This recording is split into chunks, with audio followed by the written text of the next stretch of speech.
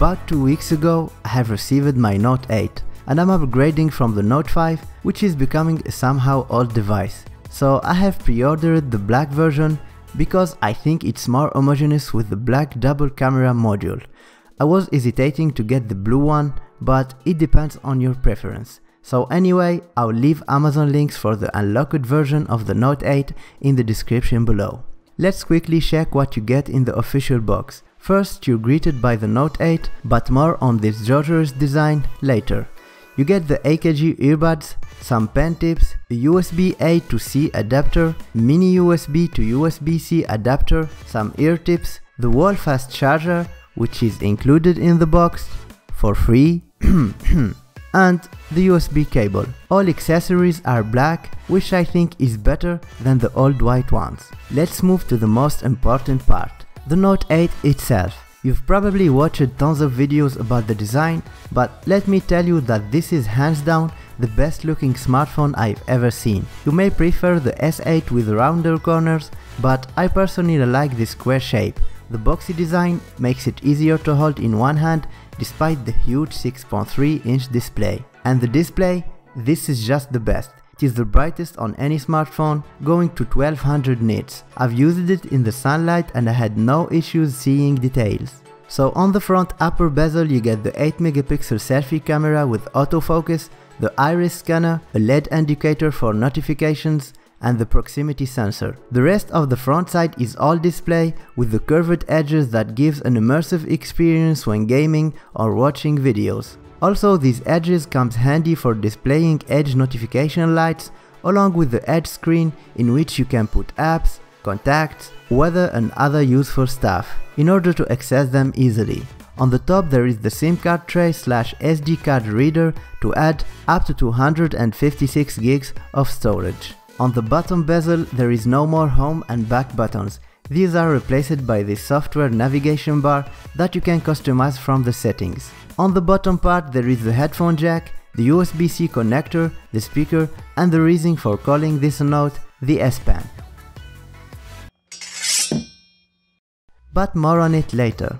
On the backside you got a glass design with Gorilla Glass 5, with the big upgrade the dual camera, with 2 times optical zoom and the live focus feature to give you portrait modes with digital depth of field.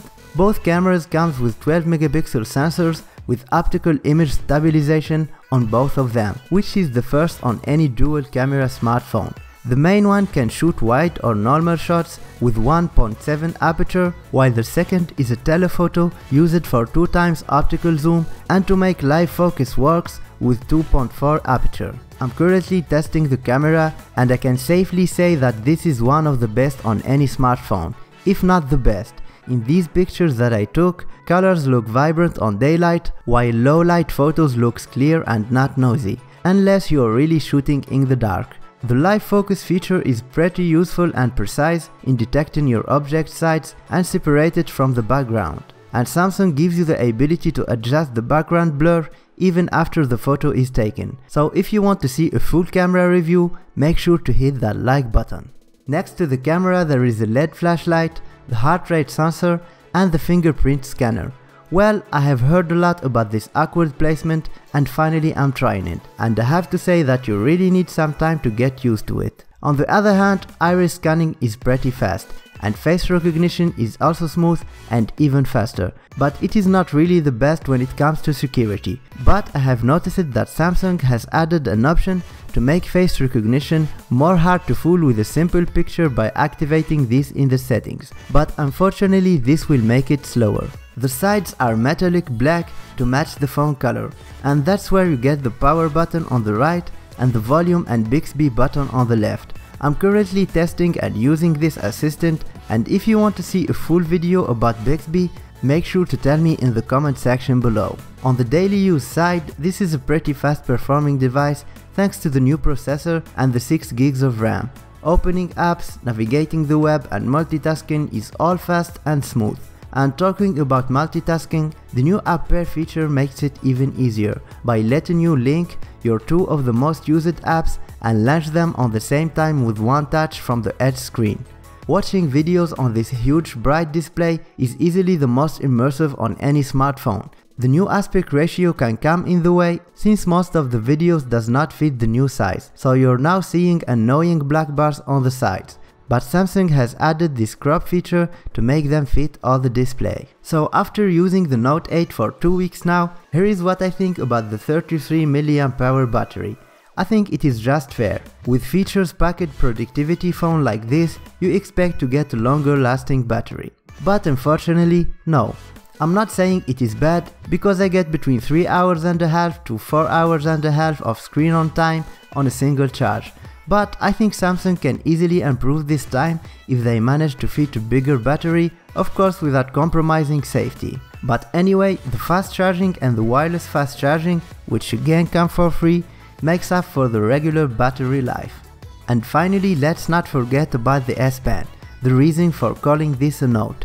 This latter also comes in black to match the whole symphony, and for features, you get to do pretty useful stuff and also some gimmicky ones, and that's depending on your needs. From translating, to sending live messages, to taking screen off memos, to drawing on your screenshots, and also drawing and coloring some art. You may need it or not, but for me, the S Pen is something I often use, especially in meetings at my work, I can just pull it and write down stuff. I can tell you that writing with this is a joy, especially with the 4000 pressure sensitive pen tip that gives a natural feel of writing. And if you like a full video on the S Pen features, feel free to tell me that on the comment section. So the Note 8 is water and dust proof, so you can submerge it for 30 minutes underwater, which means you can take some pictures when you're swimming. And if you already have a Note 8 and want to make sure to protect the glass body without compromising design, this official Samsung case is hands down the best to keep it simple. I link it in the description below. So bottom line, the Note 8 is easily the best smartphone for this year, from design to performance to camera to the load of features you get. But if you don't need the S Pen and the dual camera, you can go save some couple hundred bucks and get the S8 or the S8 Plus which have almost everything the Note have. So if you guys want me to make a specific video on the Note 8, feel free to tell me in the comment section below. Hope you enjoyed the video, leave a thumbs up if you did and subscribe for more to come. Thank you for watching and catch you guys in the next one.